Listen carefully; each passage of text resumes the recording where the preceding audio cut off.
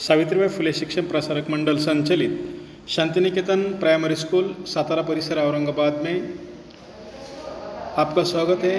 मैं अध्यापक Abhang Prakash, subject Hindi standard fifth lecture seven topic name बधाई card इस पाठ का आज हम अध्ययन करेंगे।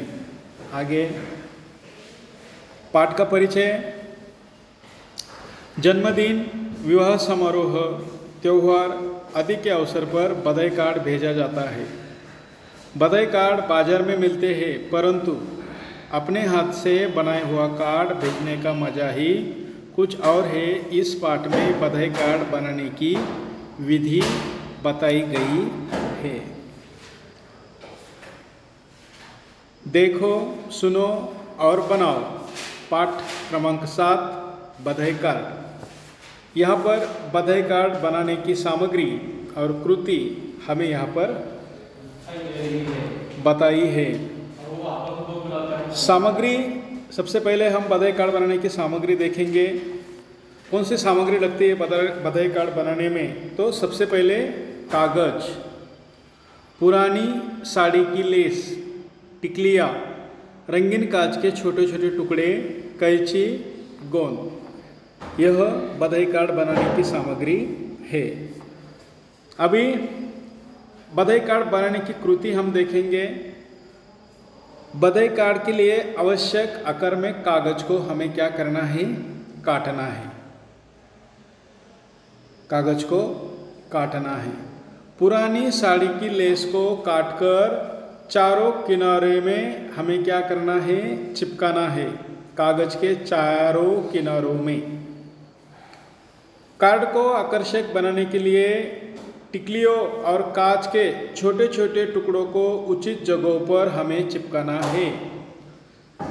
जब तुम बधाई कार्ड बनाओगे तो बधाई कार्ड आकर्षक आकर्षक बनाने के लिए क्या करना है कि टिकलिया और कांच के छोटे छोटे टुकड़े कागज़ पर उचित जगह पर हमें चिपकाना है। इससे क्या होगा? इससे बधाई कार्ड हमारा अच्छा दिखेगा। स्केच पेन से विविध रंगों की सजावट करनी है और हमें जिसे बधाई कार्ड भेजना है,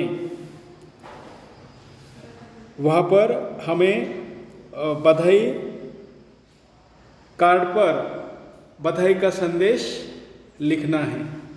ठीक है तो आगे आगे देखेंगे, आगे बधाई कार्ड बना हुआ है। देखो यहाँ पर बधाई कार्ड यह बना हुआ है। ठीक है। यहाँ पर अच्छा डिज़ाइनदार बधाई कार्ड हमें स्क्रीन पर नज़र आ रहा है। या फिर तुम पाठ्य पुस्तक के पेज क्रमांक 11 पर भी देख सकते हो। पाठ्य पुस्तक के पेज क्रमांक 11 पर बधाई कार्ड यहाँ पर तुम्हें दिखाई देगा।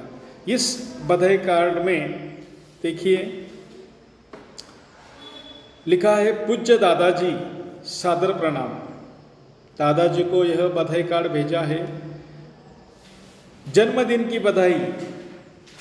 दादाजी का बर्थडे है, बधाई है, और उन्हें जन्मदिन की बधाई यहाँ पर दी है। आपकी, आपका प्रिय पोती और पोता। स्वप्निल मेघा। यहाँ पर लिखा है, स्वप्निल और मेघा ने दादाजी को यह बधाई कार्ड बनाकर भेजा है। किस अवसर पर? दादाजी के जन्मदिन के अवसर पर यह बधाई कार्ड बनाकर भेजा है।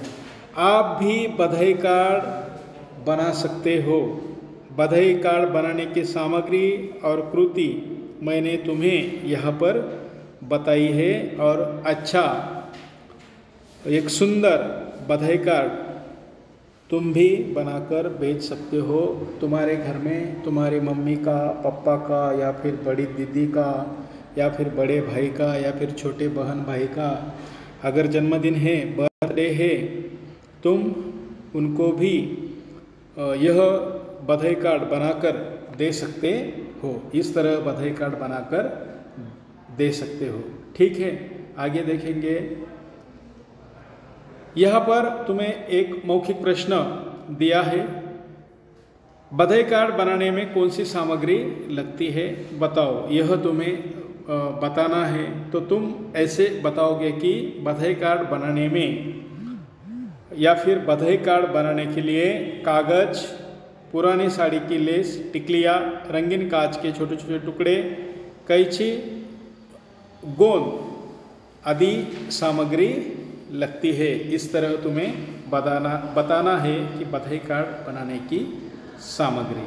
ठीक है, आगे देखिए, यहाँ पर हमारा जो पाठ था, पाठ क्रमांक सात, बधाई कार्ड, यह समाप्त होता है। इसमें हमने बधाई कार्ड बनाने की सामग्री और कृति देखी। और यहाँ पर स्वप्निल और मेघा ने अपने दादाजी को जन्मदिन की बधाई पर यह बधाई कार्ड दिया है। यह हमने आज के इस पाठ में देखा है। तो यहाँ पर हमारा पाठ सातवा बधाई कार्ड समाप्त होता है। Thank you next lecture lecture eight topic name करो और जानो। इसका अध्ययन अध्यापन हम नेक्स्ट लेक्चर में करेंगे। Thank you